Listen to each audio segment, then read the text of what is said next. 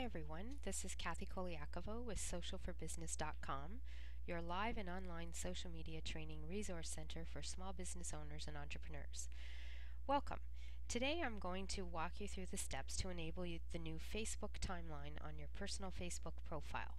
This is something that changed recently with Facebook in early October and it's being rolled out, the new timeline is, to Facebook users over time, but if you want to go in and manually add it and activate the timeline, you can do as well. So that's what we're going to do today. First off, I just want to say thank you to Margie Geiser. She's one of my clients located in Prescott, Arizona, and she did not have the new timeline set up, so she's allowed me to go in and connect that through as a demo for you all to see. So we're going to be watching it as we change one of these live for someone online.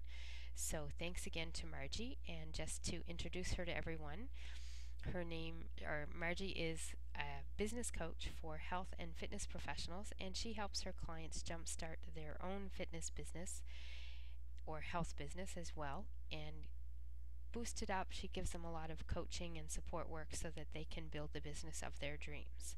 You can find her online at facebook.com slash meg.enterprises.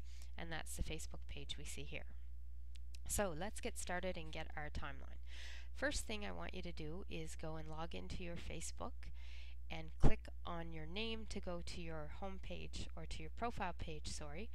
And this is what your page looks like now. This is going to change once we switch to the new Facebook timeline. So be prepared for a very different look once you get in there. So what you're going to do is actually open a second account or a second tab in your browser and we're going to, I'm going to have to do it here because I've moved this on the top and I can't get in there. Where I want you to go is to a link called developers.facebook.com slash apps. That's A-P-P-S. So Adam, Peter, Peter, Samuel. And when you go in there, some cases people may have already been given the permission to Facebook to allow access to this app which is the case here with Margie. But if you haven't, you'll get the screen in the middle that says allow access, you know, allow this access to your Facebook information. So you just want to click the allow button. When, when you do, you're going to come into this section here, and the button that you want to hit, no matter what the words or the information you see here, will be the Create New App button. And you're just going to give it a, a name, so you can call it anything that you want to. I'm going to call it Margie's Timeline. And then you need to give it a space name, which has to be at least seven characters or more. So usually what I do is I just go backwards with the name to get something in there. Make sure it's available as long as it is. You want to click that you agree to the Facebook policies and hit the submit button. It's going to make you go through a little check to make certain that you're a real person. Hopefully I'm going to pass this here. And then you're going to come to the next page, which is your new application that you've just set up within Facebook. So you can see I've got the name of it here as the timeline. And all I want you to do here when you come in is over on the left hand side there's a button, a menu item called Open Graph. So I want you to click Open Graph. And to get started, you have to define an action and an object for your app. So people can see a book. You can put whatever you want in here. It doesn't really matter. Um, and then just hit the Get Started button.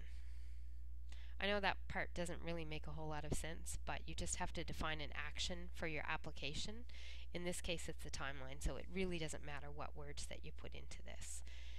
And then you just have to wait a second for the get started to set your application up. Hopefully this will work for us here today. And once we get that going, oh goodness. All right, here we go. So now that we've got this part of it going, what I want you just to do is to scroll down to the bottom of the page here. Oh, my mouse is sliding around. There's all sorts of information in there and I just want you to do nothing on this page except scroll down to the bottom, hit Save Changes and Next. And then you're going to come up with another screen here once this has saved.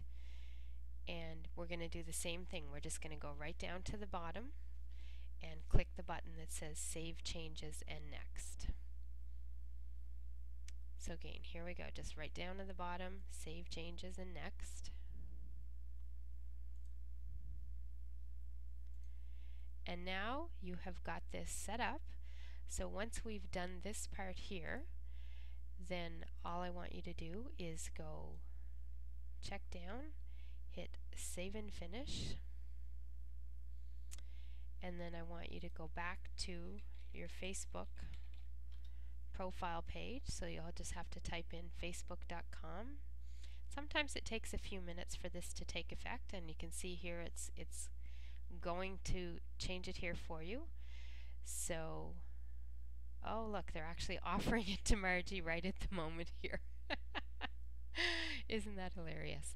So they're actually offering it right to her now. Um, I'm just going to leave that for a second because what I want to just show you, yeah, actually we're going to have to go in here. We're going to hit get it now just so that you can see because this will, is what will happen after you wait a couple minutes anyhow. So now you've got the new timeline. So this is now what we're going to see when you click your name on that uh, top right hand side of your Facebook account. This will be your new timeline. It's got your basic information here, some other information with regards to your profile, and this is stuff that um, I just went over in the free webinar that we did, so I'm not going to repeat all that because you can review all this now that you have it set up and in there and you can get it all set up yourself and follow along with the video to see how to use everything that's in here. Um, I also recommend Facebook is really good if you take these tours of information that you've got you will be able to see what's happening um, and it will walk you right through the steps so that's always helpful to do one of the things that um, you can do or not is you'll have the option of publishing this now. So do you want other people to be able to see your timeline at the moment? If you do, you can hit publish now. I recommend going through the tour part if you don't. And it looks like um, because hers has actually gone through and put it in there automatically, it will go live on Friday, October 21st. So it usually does give you a date on that. But doing it the way that we did if we'd waited for the step and I didn't hit the button so you could see it here, then you would be given that option as well to hit the Publish Now button.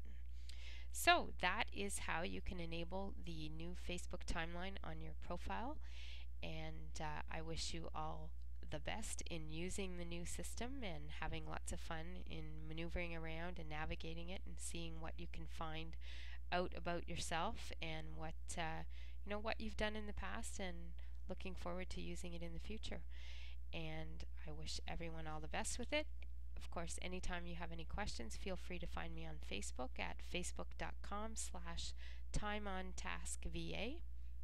And you can learn more about our social media training programs at www.socialforbusiness.com. That's S O C I A L number 4 business.com. Have a great day and enjoy your new timeline.